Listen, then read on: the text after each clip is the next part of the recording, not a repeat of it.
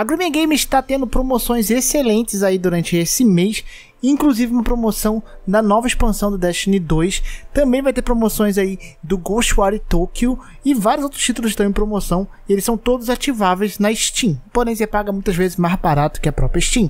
Então acesse o link na descrição aí para você conferir lá. Fala aí pessoal, beleza? Eu sou o Rádio, seja bem-vindo de volta a mais um vídeo. Hoje a gente tá gravando um vídeo aqui, depois da nossa review mais cedo de Elden Ring, comentando um pouquinho sobre as notas do jogo, o potencial impacto que o jogo pode ter, tanto para From Software, tanto para a indústria, os jogos de mundo aberto, e comentando algumas coisinhas mais sobre Elden Ring, e enfim, Uh, se ele pode realmente concorrer a um jogo do ano, será que ele é absurdo assim para concorrer? É um papo um pouco mais, uma extensãozinha da análise que a gente fez. Se não assistiu, assistam lá, inclusive. E eu quero falar mais por causa disso, por causa das notas do jogo, né? Que foi, o jogo foi bem recebido, né? Uh, eu falo assim, você tem que ver se o jogo você gosta. Eu acho que nota não impacta na qualidade de um jogo. Mas ao mesmo tempo elas são tanto pra divulgação do jogo, tanto pra. Sei lá, mas acho que é mais pra divulgação mesmo. Muita gente vê e fala, opa, esse jogo talvez dá um padrão um pouco acima e chama atenção, né? Mesmo ele podendo não ser incrivelmente bom, às vezes você jogando. Eu não tô falando de Elden Ring, falando de qualquer jogo, é assim, né? Mas é, é, é importante, é importante pro jogo, como um todo, eu acredito, ele ser bem recebido, né? Porque se junta um monte de pessoa para falar mal, querendo ou não, estraga a reputação do jogo. Uh, vamos falar um pouquinho sobre as notas de Elden Ring, então, e vamos comentar um pouquinho sobre ele, algumas coisas de otimização, etc. Enfim, deixa o like, se inscreve no canal e vem comigo, amanhã tem mais. Então, uh, o Elden Ring recebeu notas altíssimas aí, ele tava com 97, eu acho, no Playstation, na versão do Playstation 5, no Xbox acho que tava 95, no PC também 95, 94. Alguma coisa assim, né? Ter essa variação de nota de plataformas. O PC ele acabou sofrendo um pouquinho uma nota um pouco mais baixa por causa de questão de otimização. Ele não é extremamente otimizado. Eu não sei como é que tá a questão dele de otimização no PlayStation 4, tá? Mas muita gente jogou o Network Test no PlayStation 4 e tava tranquilo. E eu jogando Elden Ring no PC, na mesma região do Network Test, eu performei, né? Eu senti problemas de FPS, então eu acredito que nos consoles a situação tá bem controlada, eu acho tá? Eu só quero ver numa área específica do jogo que eu apelidei de Blighttown, tá? Porque ela é um pouco lagada mesmo, não é no nível Blighttown era, mas ela dá uns lag. Eu não sei como é que vai ficar nos consoles essa região. Espero ver testes em breve. Como é uma região avançada, ah, as pessoas acho que não abordaram nada ainda porque poderiam ser spoilers. Então, a performance dele no PC ficou um pouco mais baixa por disso, mas as notas são muito favoráveis e muito favoráveis em geral para o jogo, né? É um jogo extremamente importante né, para From Software, porque o que, que era? O Elden Ring era basicamente o TCC deles.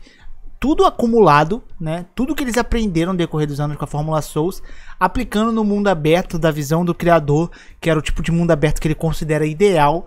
E isso aqui dando certo era meio que quase um supra-sumo da From. A From, a From ia para mim tipo, subir um patamar, já, ela já estava subindo os degraus bastante, e, mas era um patamar muito maior que ela conseguiria subir se ela acertasse uh, no gênero de mundo aberto dela.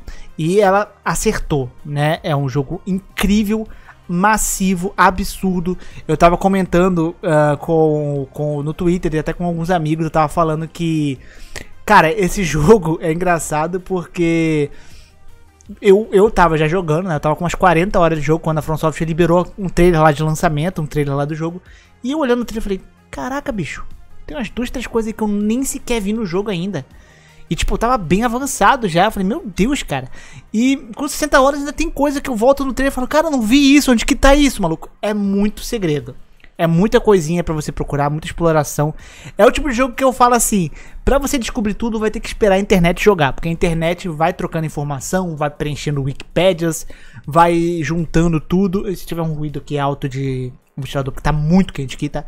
Vai juntando tudo e vai descobrindo as paradas, né? Então a gente vai ter que esperar muita coisa vai ser descoberta quando o jogo realmente liberar ele. Nas próximas semanas, assim, vai ter muita, muito segredo e coisa que a gente nem faz ideia que tem no jogo e que provavelmente dá para descobrir.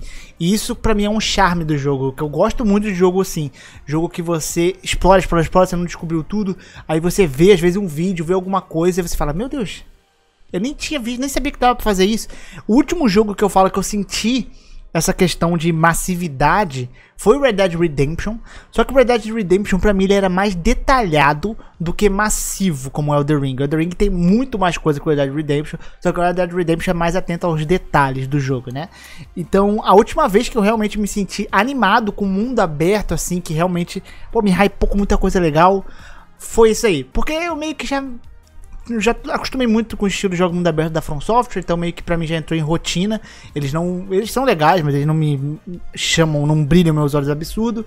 O Red Dead era bem legal e o Elder Ring agora chegou de novo aí pra dar uma marcada nos jogos de mundo aberto que tava precisando, principalmente jogos de mundo aberto medieval. Né? A gente tinha poucos títulos aí que realmente faziam alguma coisa interessante. Pra mim, o que marcava era o Skyrim, só que Skyrim é de 2011. Por isso, muito que a galera queria um Elder Scrolls. E aí tem o Breath of the Wild, só que o Breath of the Wild não é aquele Dark Fantasy clássico de RPG, de. Tem até elementos de RPG, mas não é aquele classicão RPGzão tal que a gente tá acostumado, como o Skyrim, por exemplo, e ainda é um excelente jogo, tá? Não tô falando de nada disso. Mas não tinha. E aí veio o Elder Ring finalmente, né? Porque, cara, não aguento mais, é muito jogo de tiro no mercado. É muito jogo de, de é, futurista e tal. E é engraçado que os que mais estão aí chamando atenção são jogos meio medievais, né? Tipo, o, Horizon é futurista, até é, mas ele tem aquela pegada um pouco mais medieval com futurista.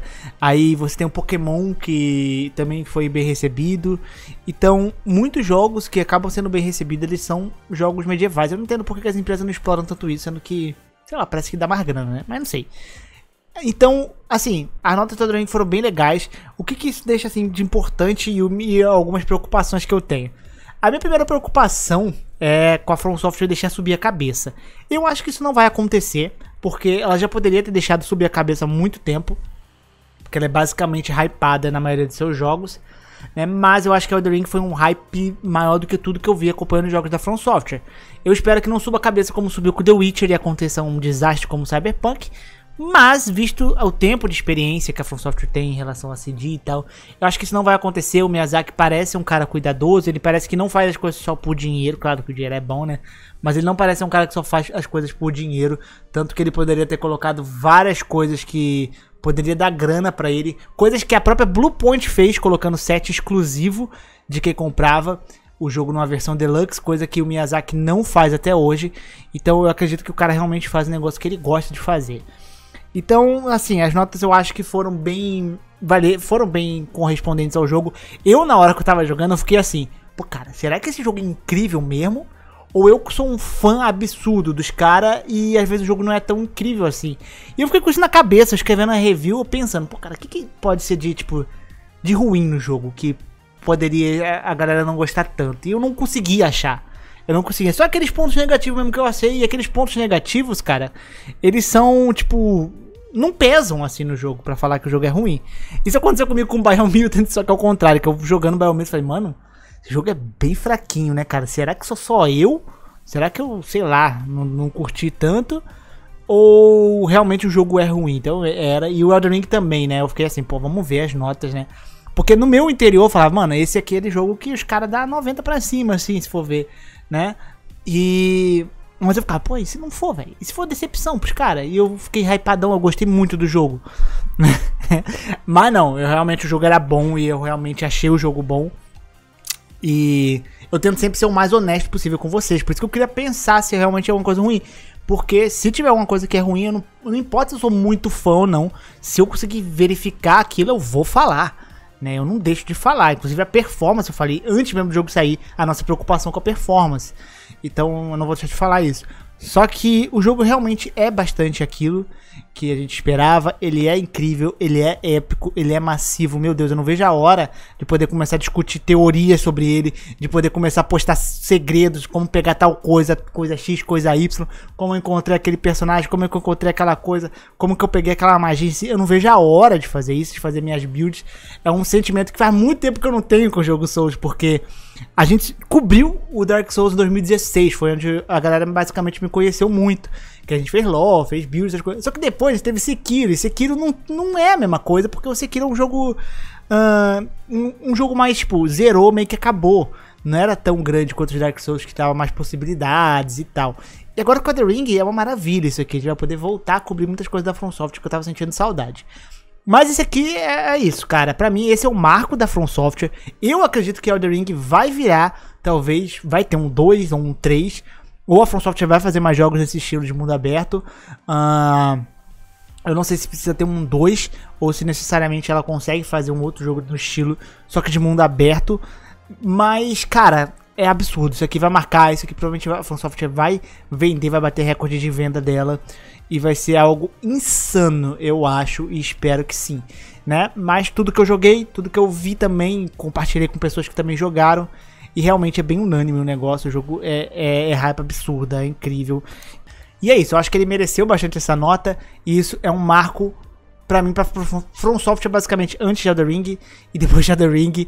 Uh, eu tava até vendo que, assim, eu sou muito fã do primeiro Dark Souls, mas pra mim o Ring supera a trilogia Souls tranquilamente tá? Muita gente tem essa dúvida, pra mim supera Dark Souls 1, 2 e 3 fácil. O Bloodborne eu ainda não sei, eu preciso conhecer melhor da história do jogo para saber. Porque o Bloodborne pra mim não é só a gameplay dele, né? Se você for ver a questão de gameplay e riqueza, é óbvio que eu adoro ganho do Bloodborne. Só que o Bloodborne pra mim é ambientação, é temática, é história. Pra mim é uma coisa que eu gosto muito do Bloodborne, mais que a temática do Elder Ring, mais que o design do Elder Ring.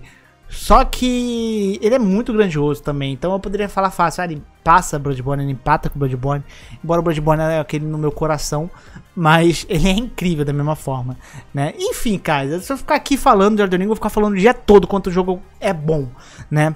Mas é isso, eu queria comentar um pouquinho sobre as notas, sobre mais alguns detalhezinhos da review ali que a gente não comentou, né? Mais um bate-papo do que aquele vídeo mais ali, mais escritinho como a review. Eu espero que vocês tenham gostado desse vídeo, é isso, grande beijo. Um beijo no popô, é nóis. E aguardem que vai ter muita coisa de The Ring aqui, meus queridos.